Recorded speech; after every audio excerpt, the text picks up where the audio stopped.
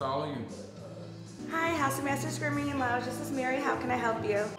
For every haircut that House of Masters Grooming Lounge schedules Calvin, good morning. and complete, You see what's up. a portion of that money will be donated to fallen firefighter Jason Arno's family. It's very, very hard for us in the barbering community to give back to the community. So whenever we see any kind of situation or need to fill, this is when we need to activate. So owner Sean Thompson 230. and a dozen other barbershops are giving free haircuts to members of the Buffalo Fire Department, now through Friday.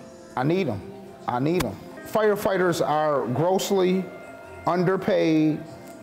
Every time they make a call, they're risking their lives. Sometimes they don't know they're going to come home.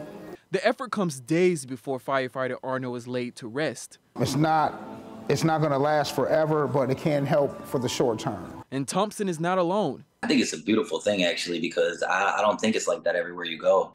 Fabio Fierro also wants to live up to the City of Good Neighbors name. I don't think any amount of money could ever be enough to to risk your life every day for you know the well-being of other people. He says he saw this Facebook post shared among Buffalo's barbers and knew he had to help.